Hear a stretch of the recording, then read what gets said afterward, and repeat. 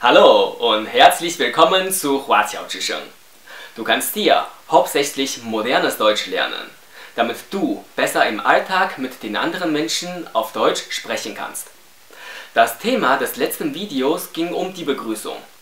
Dementsprechend geht es heute um die Verabschiedung. Und genau wie beim letzten Video die Ratschläge. Und zwar höre dir das Video nicht nur einmal, sondern mehrmals an. Spule zurück, höre es dir wiederholt an und was noch wichtiger ist, ist vor allem spreche mir nach. Stoppe das Video und spreche das nach, was ich dir vorgesprochen habe. Dein Ziel ist es ja schließlich, dass du Deutsch gut sprechen willst, nicht wahr? Und um gut Deutsch zu sprechen, ist es am wichtigsten, richtig, das Sprechen wiederholt zu üben. Die Untertitel für dieses Video kannst du hier unten an- oder ausschalten, wie es du am liebsten haben möchtest. Okay, genug gesprochen, fangen wir an.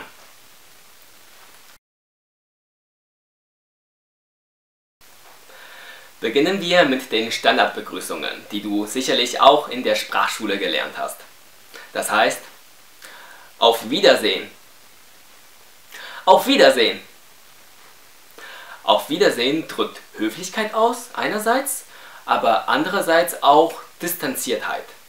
Das heißt also, wenn du mit dem Gegenüber noch nicht sehr vertraut bist, wenn ihr euch noch etwas fremd seid, oder wenn du mit Respektspersonen sprichst oder mit älteren Menschen, dann wendest du am besten auf Wiedersehen an. Mit Freunden, unter Freunden im Gespräch, sagst du stattdessen lieber einfach ein Tschüss. Tschüss. Oder genauso gut könntest du auch sagen, mach's gut. Mach's gut. Du kannst auch sagen, schönen Tag noch einen schönen Tag noch. Oder etwas ausführlicher, ich wünsche dir bzw. ich wünsche Ihnen einen schönen Tag. Ich wünsche Ihnen einen schönen Tag. Dasselbe gilt auch für ich wünsche Ihnen ein schönes Wochenende. Und die Kurzversion? Schönes Wochenende. Und bei Abend geht es auch. Also, ich wünsche Ihnen einen schönen Abend oder die Kurzversion Schönen Abend beziehungsweise Schönen Abend noch.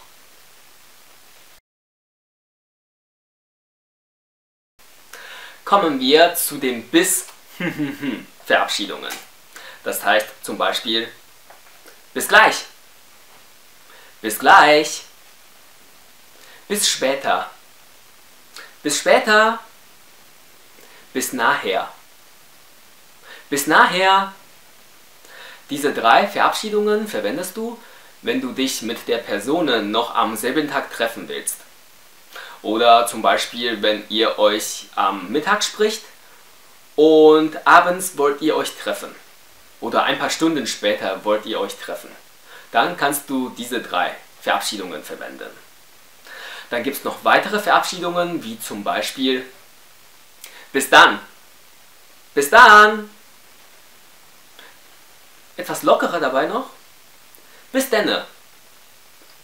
Bis denne. Oder auch bis die Tage. Bis die Tage. Bis zum nächsten Mal. Bis zum nächsten Mal. Diese vier Verabschiedungen verwendest du, wenn ihr euch irgendwann wieder trifft. Aber wann genau, das wisst ihr nicht. Das kann noch ein paar Tage später sein oder ein paar Wochen später sein oder auch ein paar Monate später sein. Also das wisst ihr noch nicht. Das ist noch offen. Und da kannst du genau diese vier Verabschiedungen verwenden. Dann gibt es noch eine weitere Verabschiedung und zwar die nennt sich Bis bald. Bis bald. Bis bald ist auch eine offene Verabschiedung. Ihr wisst noch nicht, wann ihr euch genau trifft aber es impliziert, es drückt aus, dass du dich gerne mit der Person wieder treffen willst und dass du dich bald mit der Person wieder treffen willst und deswegen auch bis bald.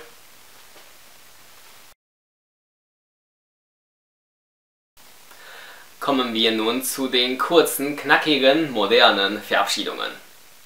Bei Tschüss zum Beispiel kann man die kurze Version auch verwenden. Das heißt also Ciao. Ciao. Oder ein bisschen niedlicher. Ciao. Ciao. Das ist etwas lockerer, etwas relaxter, gechillter und auch niedlicher. Und mein Gefühl ist das, dass die Mädels in Deutschland es mehr verwenden als die Jungs. Aber beide können es natürlich verwenden. Ciao! Genauso gut kann man als Verabschiedung auch sagen, hau rein. Hau rein. Oder auch ähnlich dazu, haust da rein. Haust da rein. Man benutzt dabei das Verb hauen, hm? hauen und rein. Und haust rein heißt eigentlich haust du rein. Das ist allerdings zu lang und die Deutschen mögen es auch, wenn man die Wörter etwas komprimiert, kürzer gestaltet. Aus dem du wird also ein d und aus dem haust wird ein haust. Und das t und das d wird zusammengefasst und letztendlich ergibt es haust rein. Das ist schon sehr, sehr modern, sehr chillig und wird vorwiegend, na überwiegend, fast ausschließlich von den Jungs verwendet. Dann gibt es noch zum Beispiel die Verabschiedung Wir sehen uns. Ne? Sehen, gucken, sehen. Also, wir sehen uns. Wir sehen uns. Oder man sieht sich. Man sieht sich. Ebenso gut ist eine sehr schöne Verabschiedung. Pass gut auf dich auf. Pass gut auf dich auf. Also man wünscht dem anderen alles Gute. Pass gut auf dich auf. Pass gut auf dich auf.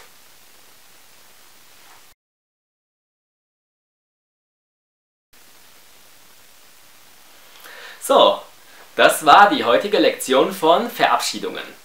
Ich hoffe, du hast dabei wieder etwas Neues gelernt, was du im Alltag, im Gespräch mit anderen Mitmenschen weiterverwenden kannst. Und ich hoffe vor allem für dich, dass du das Video mehrmals angeschaut hast, an den entsprechenden Stellen angehalten hast und wiederholt hast, was ich dir vorgesprochen habe. Du weißt ja, Übung macht den Meister. 感谢你的收看，如果你有问题或者有建议的话，欢迎你随时联系我。 Vielen Dank für das Anschauen des Videos. Wenn du Anregungen oder Vorschläge hast, kannst du mir gerne jederzeit eine Mail schreiben oder bei YouTube eine Nachricht hinterlassen. Ich freue mich darauf. Und bis dahin, mach's gut, wir sehen uns und vor allem, pass gut auf dich auf. Ciao!